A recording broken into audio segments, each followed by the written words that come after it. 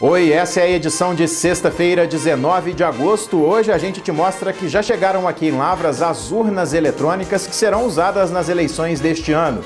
Tem ainda a 16ª Exposição Nacional de Orquídeas, que é a atração do fim de semana, e a gente também fala da previsão do tempo para sábado e domingo.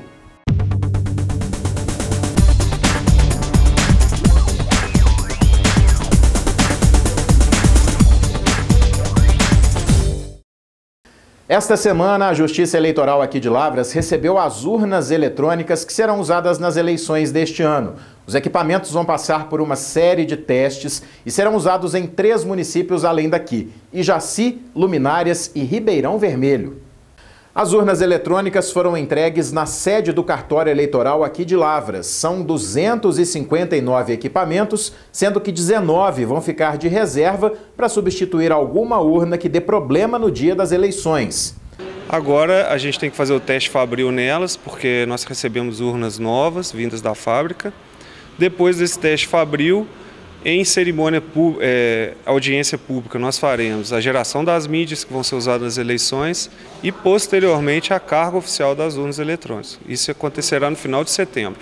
Na comarca de Lavras, a distribuição das urnas será da seguinte forma: 11 vão para Ribeirão Vermelho, 12 para Luminárias, 16 urnas vão para Ijaci e 201 ficam aqui na cidade. O chefe do cartório explicou ainda que essa remessa de urnas eletrônicas é toda de equipamentos novos para substituir algumas antigas produzidas em 2004.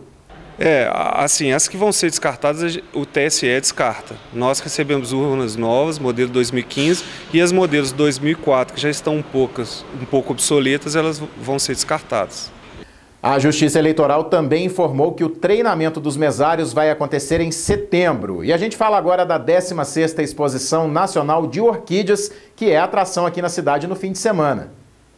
A mostra é no Lavras Shopping e fica aberta ao público até domingo com entrada franca. Segundo os organizadores, tem participantes de mais de 20 cidades. Além de conhecer os vários tipos de orquídeas, os visitantes também podem comprar os vasos e levar para casa. São mais de 500 opções. A organização dessa exposição é do Círculo Orquidófilo de Lavras excelente oportunidade para o pessoal fazer uma visita, vai conhecer plantas espetaculares. Aqui tem 20 cidades participando, mais de 600 vasos de orquídeas expostos, planta de várias espécies brasileiras, estrangeiras, muita planta asiática.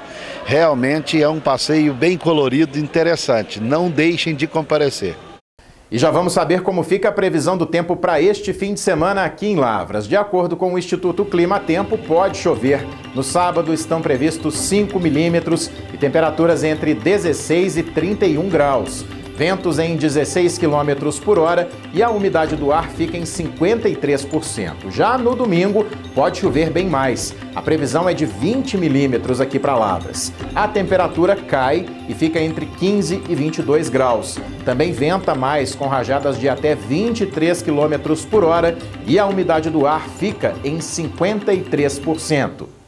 O Jornal da Cidade de hoje termina aqui, mas a gente volta na segunda-feira, sempre lembrando que você pode ajudar a fazer os próximos jornais, mandando sugestão de reportagem, fotos e vídeos pelo WhatsApp. O número é 98806.000. Um ótimo fim de semana e a gente se encontra na segunda.